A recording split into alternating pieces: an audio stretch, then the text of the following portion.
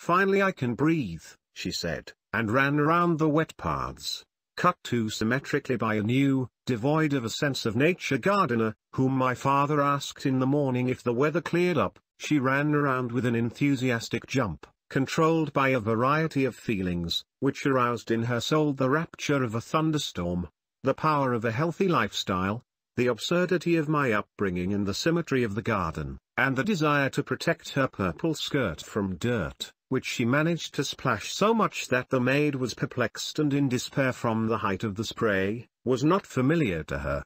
If grandmother was making circles in the garden after dinner, then only one thing could drive her into the house. She, like a midge, was drawn to the lighted windows of the small living room, where bottles of strong drinks stood on the card table, and at the moment when she, having made another full turn, turned out to be under the windows, the voice of my great-aunt was heard, Bathilda. Forbid your husband to drink cognac. In fact, to tease my grandmother, she was very different from the rest of my father's family, and everyone made fun of her and pestered her. My great-aunt encouraged my grandfather, who was forbidden to drink strong drinks, to drink a little.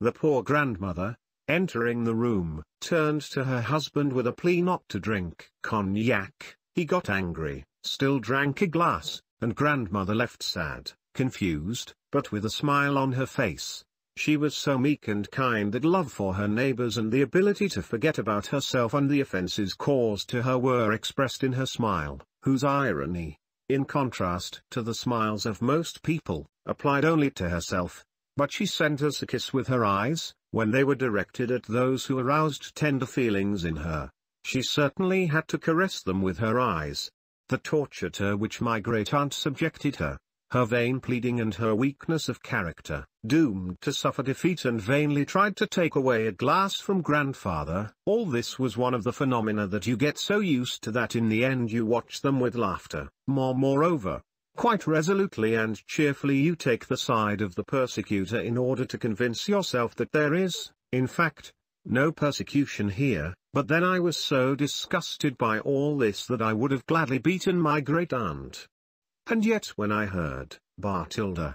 forbid your husband to drink cognac, I, already masculinely cowardly, acted as all of us, adults, act at the sight of injustices and insults. I turned away from them, I went upstairs to weep, right under the roof, into the room next to the classroom, where there was a smell of iris and into which the fragrance of wild black currant poured, growing among the stones of the fence and stretching a flowering branch through the open window. Having a special, more prosaic purpose, this room, from which even the tower of the castle of Roussainville-le-Pin could be seen from afar during the day, served me for a long time, of course, because only there I had the right to lock myself with a key. A refuge where I could to indulge in what requires inviolable solitude, where I could read, dream, bliss and cry. Alas! I did not know that my grandmother was much more upset than the minor violations of the regime allowed by her husband, my lack of will and poor health, which inspired her anxiety for my future, when, with her head on one side and looking up,